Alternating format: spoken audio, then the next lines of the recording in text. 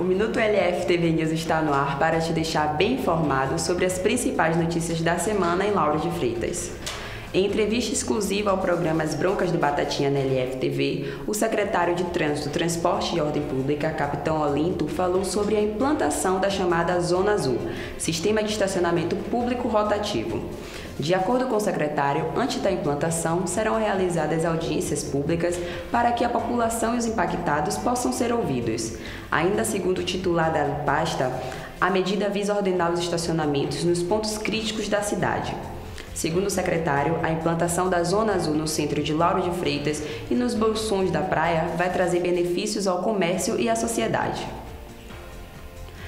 Com a chegada do verão, o site Trivago listou as 10 praias mais em contas do Brasil, para aqueles que gostam de viajar de maneira prática e econômica. E entre as 10, a cidade de Lauro de Freitas ocupa o sexto lugar na lista, com diária média para o verão de 215 reais e variação entre 86 e 1.580. O topo da lista fica com a cidade de São Luís, no Maranhão, com média de 188 reais e variação entre 55 e 580. Alguns locais apresentam valores mínimos significantes, como a cidade de Olinda, em Pernambuco, que registra hotéis a partir de 52 reais.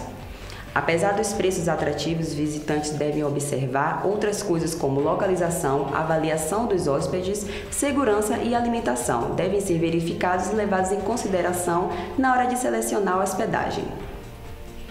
E para encerrar o Minuto LF TV News dessa semana, vamos falar das homenagens aos 410 anos da paróquia Santo Amaro de Pitanga.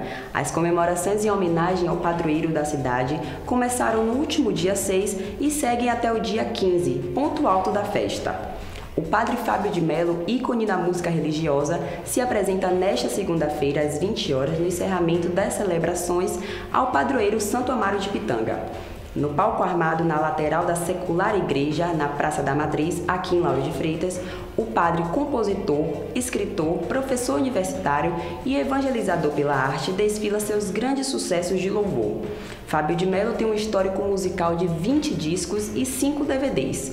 Seus livros publicados já venderam mais de 3 milhões de exemplares. Você pode colaborar com a LFTV enviando mensagens, fotos ou vídeos para o nosso WhatsApp no número 992695292. Mais informações você acompanha no nosso portal lftv.com.br. Um excelente fim de semana para você e até semana que vem.